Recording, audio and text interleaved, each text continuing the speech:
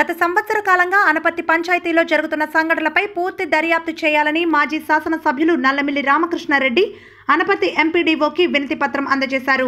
గత రెండు రోజుల క్రితం అనపత్తి పంచాయతీ కార్యాలయంలో పంచాయతీ ఆఫీస్కి సంబంధం లేని వ్యక్తులు పంచాయతీ కార్యాలయంలో దాడి చేసుకోవడంపై అనపత్తి మాజీ శాసనసభ్యులు నల్లమిల్లి రామకృష్ణారెడ్డి అనపత్తి మండల అభివృద్ధి అధికారికి వినతిపత్రం అందజేశారు.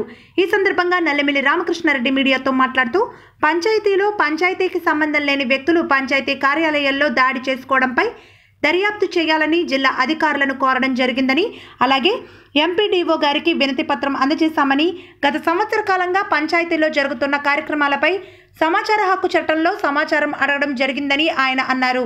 పంచాయతీ కార్యాలయంలో దాడి జరగడంపై ప్రజలంతా చాలా రకాలుగా మాట్లాడుతున్నారని ఆయన ఈ సందర్భంగా అన్నారు. ఈ కార్యక్రమంలో కరి శేషారత్నం సత్య దేవానందరెడ్డి కొవ్వూరి శ్రీనివాసరెడ్డి మామిడిశెట్టి శ్రీను టీడీపీ నాయకులు పాల్గొన్నారు.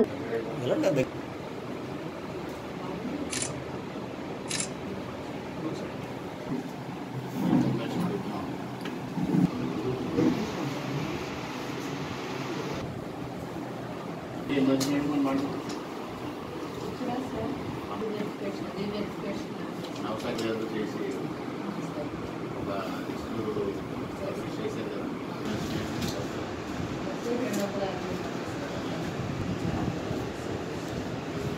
స్టార్ట్ చేశారంటే అందులో అంతా పెన్షన్స్ కొన్ని ఇచ్చేస్తాం సార్ వాళ్ళే మళ్ళీ కొన్ని రీవెరిఫికేషన్ అని ఇచ్చారు కదా ఆ రీవెరిఫికేషన్ మాత్రం ఆర్డర్ చేస్తాం అంటే వాళ్ళకి ఫోర్ ఇయర్లో